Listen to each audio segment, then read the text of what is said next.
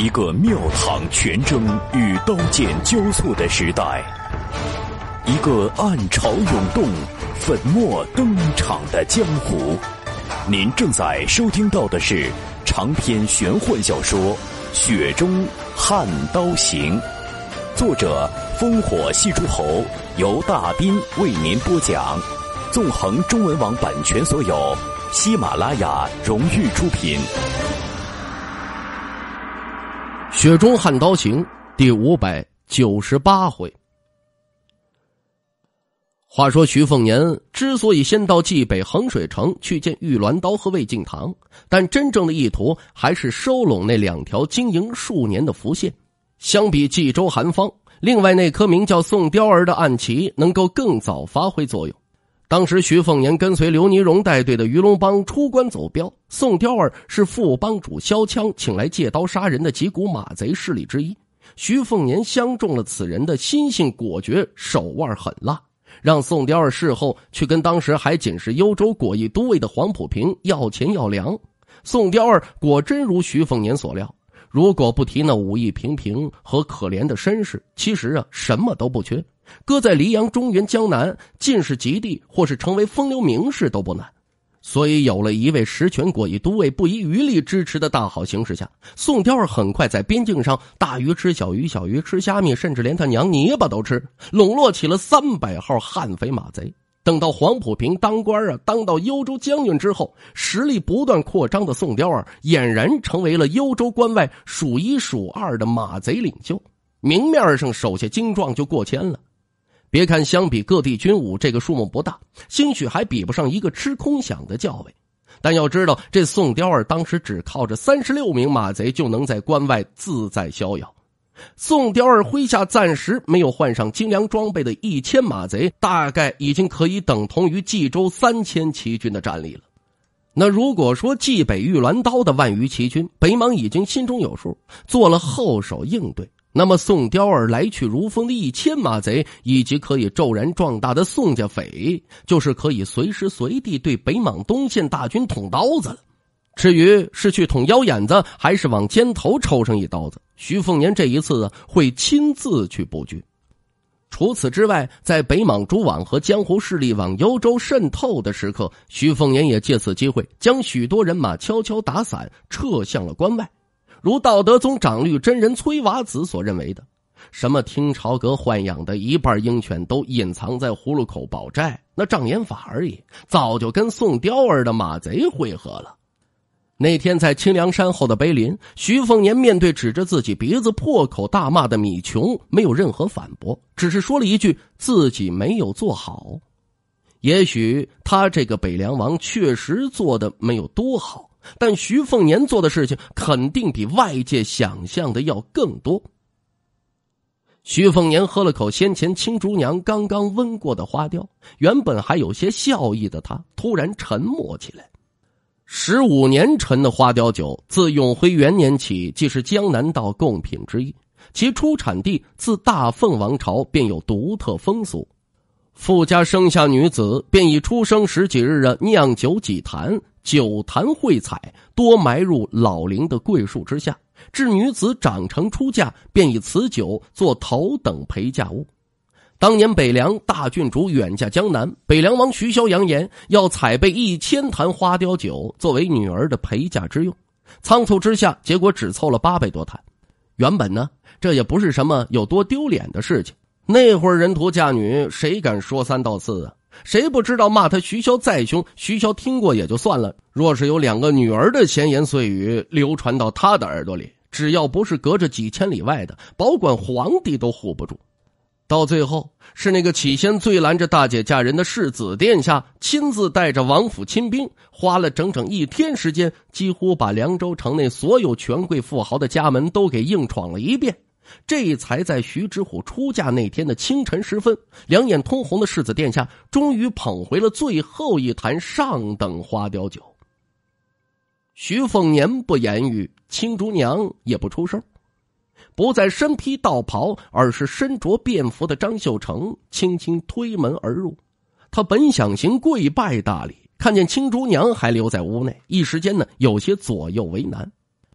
徐凤年回神后举了举酒杯，他微笑道：“都是故人相逢，来坐下说话。”张秀成的诚惶诚恐可不是假装的，他亲娘啊，眼前这位可是堂堂黎阳西北藩王啊！那只握着酒杯的手，可还握着整整三十万边关铁骑。这位顶着北凉王爵和上柱国头衔的年轻人，那可正在跟北莽的百万大军、跟整个北莽王朝在玩了命的死磕呀！退一万步说，拿走北院大王徐淮南和提兵山第五河脑袋的男人，打死王先知的家伙，张秀成他这么一个装神弄鬼的道士，不是算碰着真神仙了吗？这张秀成瞥了一眼还蒙在鼓里的青竹娘，用字正腔圆的冀州口音，他小心翼翼的问：“王徐公子无妨？”徐凤年点点头，不碍事儿。张秀成松了口气，正襟危坐，他沉声说：“小的斗胆，先不说正事，大当家的让我先替他做件事情，以后见了面，他再补上。”说完这句话，张秀成站起身来，跪在地上，重重的磕了三个响头。徐凤年没拦着他，额头微红的张秀成重新起身坐下，迅速平稳了思绪。他继续说：“在我……”这张秀成忍不住骂了句脏话，先给自己甩了狠狠一个耳光，这才说：“在徐公子授意下，玉将军带兵去冀北的路线上。”经过了南路关附近，大当家的也连夜率领三千兵马去堵截，大打出手了一番呢。可然那只带有十几护从的袁庭山事后露头了，对大当家的少了几分戒心。玉将军这一路北行，可就咱们南路关拔刀了，其他十几路兵马都缩卵的一塌糊涂。不是小的胡吹，北凉铁骑的确不愧是天下第一的雄兵，哪怕隔了个河州。冀州军照样得怕的要死。徐凤年微微一笑，要是冀州主心骨杨慎杏还在，可能就不是这副光景了。可能啊。张秀成没说几句话，就觉得口干舌燥，瞥了眼桌上那只酒杯，愣是没敢去拿呀。徐凤年帮他倒了一杯，他这才低头弯腰接过去，微微侧过头，一饮而尽，看得青竹娘都傻眼了。这唱的是哪出戏呀？什么于将军，什么北凉铁骑？杨慎信他倒是听说过，那个在冀州作威作福，然后到了别地儿就立马水土不服的老头子吗？据说在黎阳一个叫广陵道的地方吃了场大败仗，典型的晚节不保。他对袁庭山则相对更熟悉一些。没办法，这个袁大人在冀州那是妇孺皆知啊，是毁誉参半的一个传奇人物。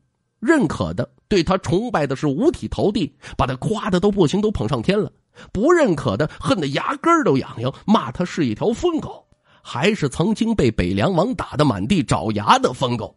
不靠骑马杀敌争取功名，而只是靠着骑女人才有今天的地位。张秀成正要说话，屋外有人轻轻叩门。张秀成如惊弓之鸟般猛然起身，吓了这青竹娘一跳。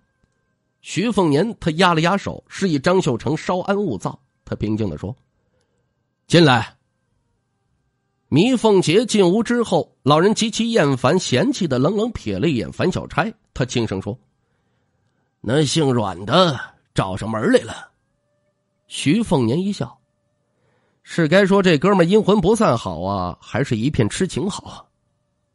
原来，在他们四季进入冀州边境后，无意间遇到一支四十人的私人马队，护送着一位世家子弟。马队配置不比那冀州禁忌差。那家伙几乎只看了擦肩而过的樊小钗一眼，魂魄就跟着樊小钗那一骑走了，什么都不管不顾了，立即掉头策马狂奔，拼命赶上徐凤年四季。原来那个叫做阮刚的年轻人，年少时啊，在大展城见过仍是少女的樊小钗，当时便惊为天人。等到樊小钗离去，这个痴情种借口出门游学，都快把大半座冀州翻遍了。这么多年始终没有娶妻，结果他觉得那场重逢就是天意。樊小钗一开始啊说不认识什么阮刚，也从没在大展城停留过。阮刚当时看徐凤年的眼神，那叫一个幽怨，误认为这樊姑娘嫁为人妇成了他的美眷。有意思的是，这阮刚从头到尾没有仗势欺人的企图，只恳求啊，这徐琪君子有成人之美，千万要让他和樊姑娘破镜重圆。最后，这位冀州副将的嫡子甚至下马就那么跪在驿路之上，满脸涕泪。所幸他当时没能看到马背上樊小钗的狰狞表情。这位浮水房第三号大当，当时真的是连把他分尸的念头都有了。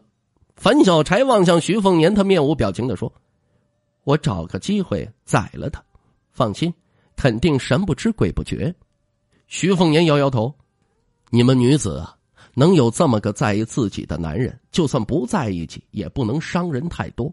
毕竟这种好男人，这个世道真不多了。”樊小钗还是板着脸，他问道。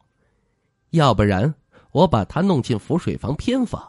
此人好歹是冀州副将最器重的儿子，用得着？徐凤年反问：“你又不喜欢他？再者，你也都当上浮水房排在前十的大人物，还在乎这点功劳？”徐凤年笑着摇了摇头：“我看不见的地方，浮水房女子做这类事情，我不去管。但你就站在我眼前，算了。”樊小钗哦了一声，就不再有下文了。徐凤年对糜凤杰说：“随便呢，跟阮刚知会一声，就说明天我去他家登门拜访，让他备好美酒佳肴，就让他继续等着。有个念头挂在心头，哪怕挂一辈子，大概也比心如死灰好些。”屋内所有人都没有接话，张秀成是不敢，糜凤杰是不上心，樊小钗是开始闭目养神了，只有青竹娘柔声道。是这样的，徐凤年没来由想起了同为北凉棋子之一的王府客卿，带上那张入神面皮的舒修了。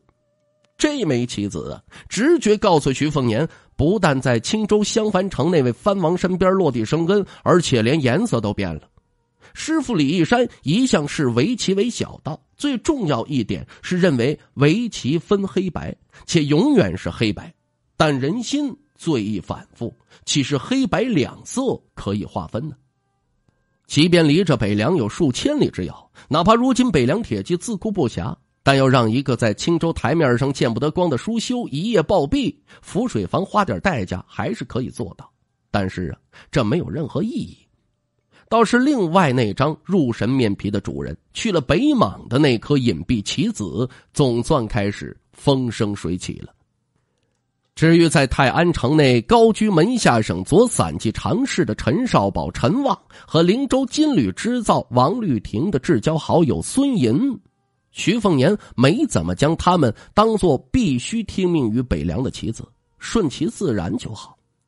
徐凤年倒是更期待曹维那家伙，在玉兰刀近万幽记的掩护之下，曹维那支更为精锐的骑军，兴许真的可以成为一锤定音的骑兵。当然，前提是北凉三县能够咬着牙扛下北莽铁骑的南侵。徐凤年端着酒杯起身走到窗口，望着川流不息的闹市大街，他喝了口花雕酒。你太平令在北莽皇宫以百幅大缎拼凑出两朝如画的锦绣江山，要为那老妪以黑白买太平，技术活当上。不过这个赏是我北凉三十万铁骑，就看你北莽吃不吃得下，小心烫穿了肚肠。您正在收听到的是《雪中悍刀行》，纵横中文网版权所有，喜马拉雅荣誉出品。不惹是生非的四季，在偌大一座大展城的去留，就像滴水投于巨壑，根本激不起什么。徐凤年跟张秀成谈妥事宜后，很快就离开酒楼。青竹娘只在相送时说了一句话：“说上次离别，他送给他一句话，这次啊，他还给他。”徐凤年笑着说：“收下了。”张秀成回到雅间窗口，望向四季在街上远去，没有转身。女子正在缓缓的收拾桌子上的酒壶、酒杯和那些盛放佐酒小菜的精致碟子。张秀成好奇的问：“青竹娘，那句话是什么？可以说吗？”青竹娘婉约一笑：“有什么不能说的？他上次对我说：‘好好活着，天底下没有比这更大的道理。张秀成感慨的说：“这世道要乱了。”青竹娘小声问：“他到底是谁？你要是不能说，就别说。”张秀成转过身，有些疑惑：“还真不能说，只是我跟他聊了这么多，青竹娘，你没猜出来？”青竹娘脸颊微红。我也不知道当时在想什么，反正觉得现在好像什么都没能记住。张秀成愣了一下，他忍住笑意：“你就当他是徐郎好了，反正他真实身份总有水落石出的一天，到时候你就算逃回北莽，闭上耳朵都没用。从他对待那婢女的细节中看得出来，不说是好人，但肯定……”坏不到哪儿去。青竹娘白了一眼这个总喜欢自嘲、只会在故纸堆里边降妖除魔的道士，她轻声说：“他呀，坏着呢。”张秀成不明就里，也不乐意掺和这坛子事情，省得里外不是人了。对了，在春秋世子眼中的神州陆沉后，也不知是哪个嘴上不积德的读书人说了句大损话，流传甚广，就是说。徐骁照镜子里外不是人。张秀成在冀州扎根后，一开始不理解，后来才知道骂那位老梁王杀人太多，是闯入人间的厉鬼。至于其他，如大将军走路一高一低，这个简单明了，是在暗讽徐骁是个瘸子。上梁坡正下梁歪，曾经是用以笑话人秃驼背和他长子徐凤年纨绔无良。不过随着徐凤年名声大振，已经很少有人提起。张秀成叹了口气，可惜自己是没法子看上一眼那功高震主且得善终的大将军了。收敛起这些无用思绪，张秀成看了一眼窗外天色，自己呀也该出城了。大当家的还在那边等着自己的消息。张秀成突然坐回位置，让青竹娘放回杯筷碗碟，他倒了杯酒，慢饮起来。青竹娘呢，则斜靠在窗边安静的望着那热闹喧嚣的异乡市井。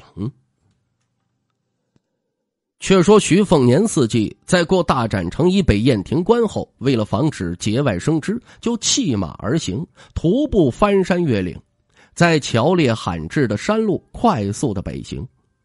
糜凤杰和樊小钗都对于地龙那孩子刮目相看。小小年纪，悟性好不奇怪，但内力如此雄厚，那就完全说不通了。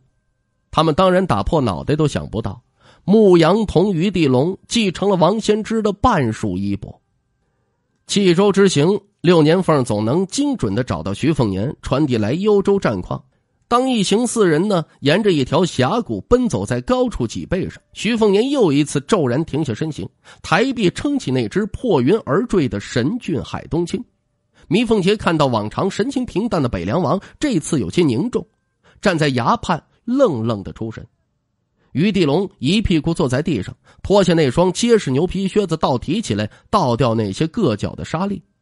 糜凤杰忍不住开口问：“葫芦口战事不利？”徐凤年摇摇头。早马寨那边的第一场接触战，双方战损其实还在楚禄山和燕文鸾的意料之中。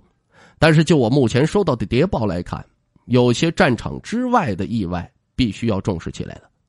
杨元赞亲自领先锋军直扑卧宫城。自古以来，一辈子得有半辈子活在马背上的北方游牧民族啊，自然骑射娴熟。但大凤王朝开国初期，仍是对草原势力保持着绝对优势。他们也许想不到，哪怕在大风末期，哪怕不依靠城池坚固和精锐弓弩，奉军与草原骑兵的交战依旧是可以打平手。双方出现胜负颠倒，也就是这两百来年的事情。无数趟夹带私货谋取暴利的边关贸易，加上两百年无数次南下游掠的大掠而归，让北方草原拥有了相当规模的匠人和铁器。春秋世子洪家北奔，更给北莽带去了丰富的人口、深厚的中原文化以及潜移默化的战争观念。董卓思军重视部族，重视攻城，重视府兵，这就是其中一个显著的变化。